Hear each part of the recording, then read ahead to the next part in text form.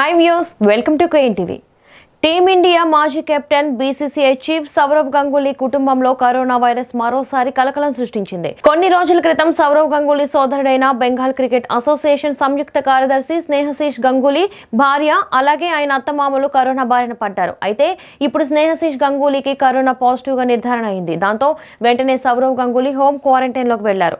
Bengal first class మాజీ ఆటగాడైన స్నేహశీష్ గత కొంతకాలంగా జ్వరంతో బాధపడుతుండటంతో కరోనా పరీక్షలు చేయించుకోగా కరోనా పాజిటివ్ గా నిర్ధారణ అయింది దాంతో స్నేహశీష్ని బెల్లెవ్యూ ఆసుపత్రిలో చేర్చారు. ఈ విషయాన్ని బెంగాల్ క్రికెట్ అసోసియేషన్ అధికారి ఒకరు తెలిపారు.